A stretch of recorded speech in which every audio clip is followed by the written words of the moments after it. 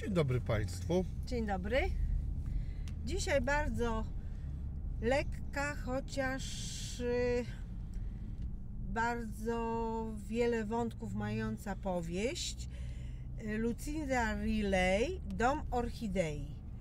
I to jest autorka, której parę książek czytałam, które są y, mają dużo wiedzy i są dosyć interesujące. Nie wiem, czy ktoś pamięta Siedem Sióstr i y, Pa, Salt i Atlas. To jest właśnie ta sama autorka. To nawet ja pamiętam. I to jest jedna z jej powieści, która rozgrywa się na wielu płaszczyznach i w wielu miejscach. Główną y, cechą tej powieści to y, jest y, taki majątek arystokratyczny w Wielkiej Brytanii, gdzie rodzina głównej bohaterki służyła w tym majątku.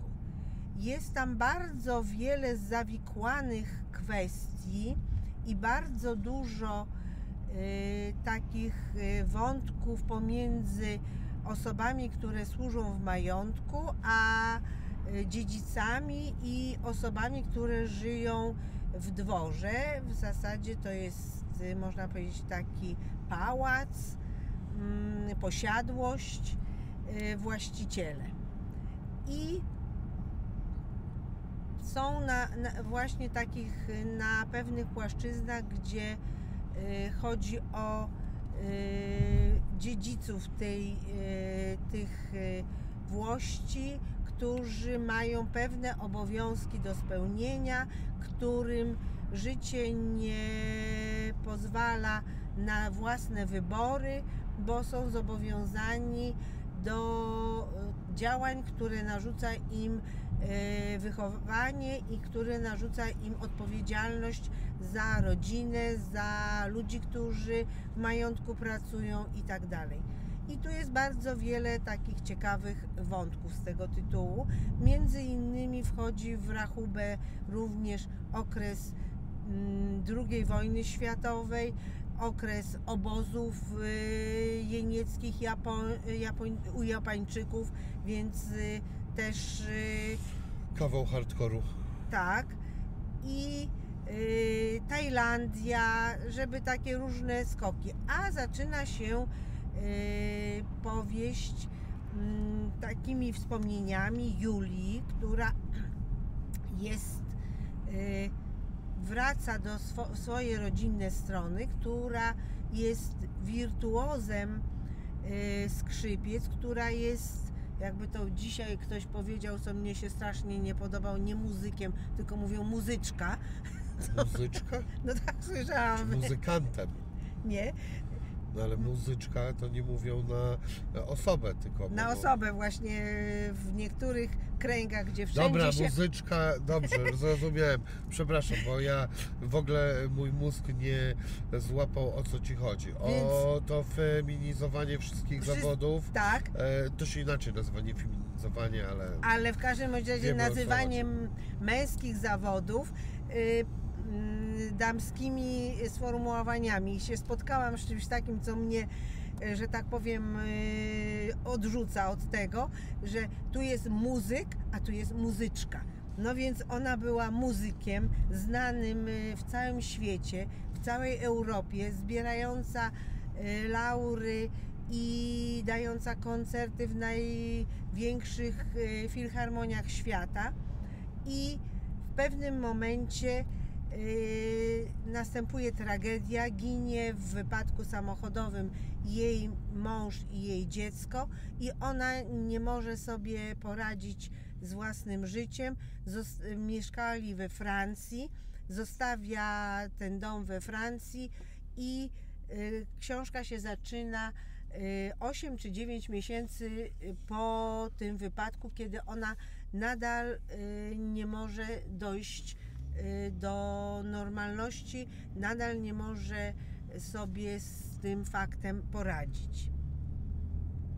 I y, jest y, obok jej siostra, która y, razem, y, która ma rodzinę, która zupełnie inaczej y, działa, która raczej jest taka bardzo domowa, stara się ją wyciągnąć z tej depresji, stara się jej pomóc i y, obie idą, to jest sam początek, więc nie, Nie opowiadasz końca. nie opowiadam końca.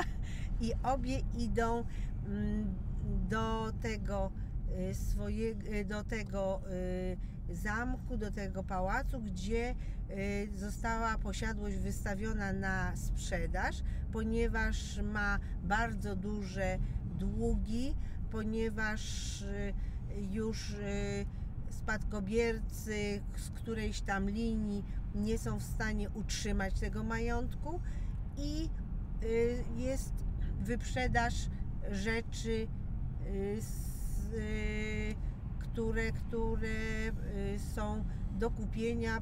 Wystawione wszystko jest na Jak sprzedaż. targu. tak i y, ogłoszone i wszyscy sobie chodzą i wybierają i mogą kupić za nieduże pieniądze różne, różne rzeczy.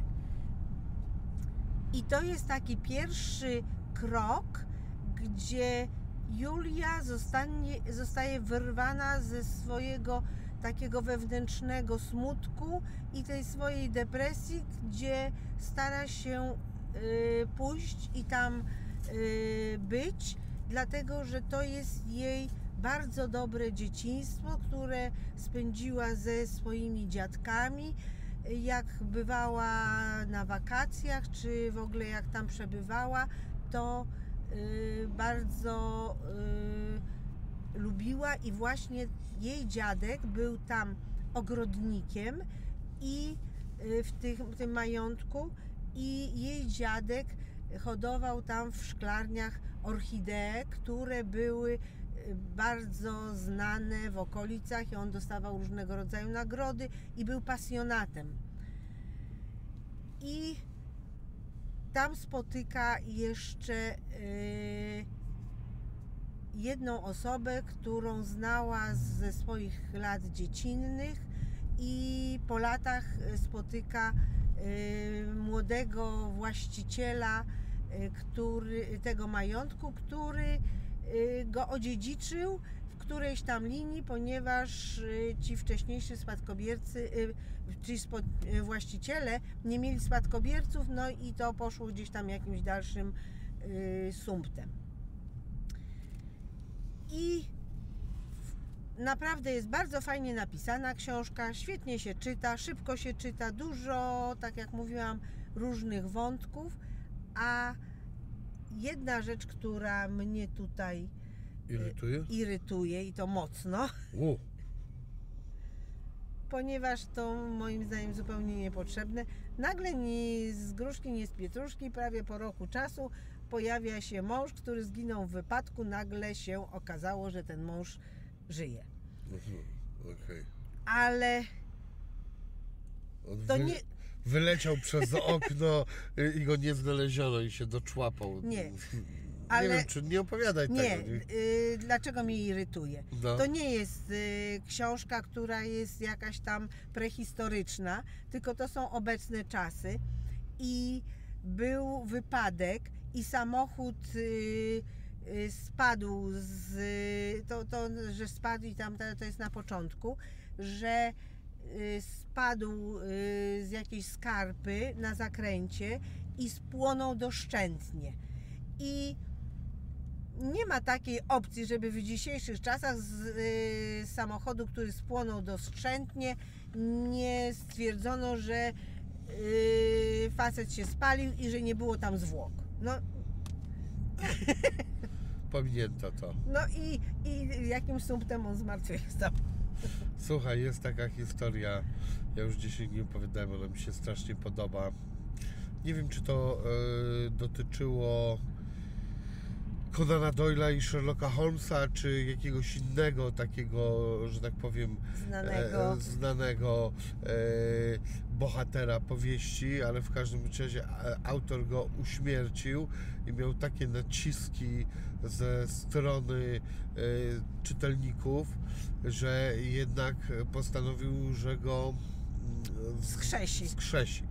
I e, problem był taki, że on jakoś tak właśnie zginął na zabój trochę i nie wiadomo było Jak go wskrzesić. tak, więc e, po prostu autor wyszedł tego, e, tego słowami.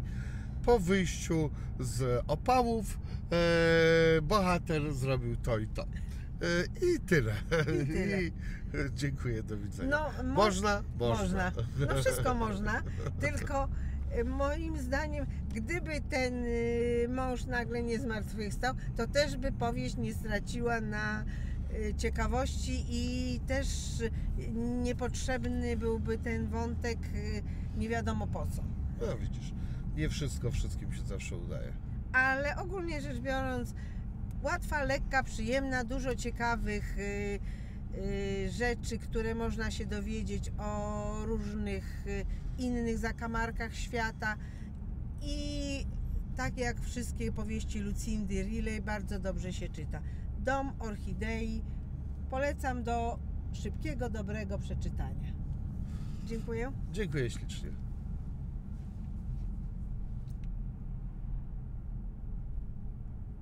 I stop.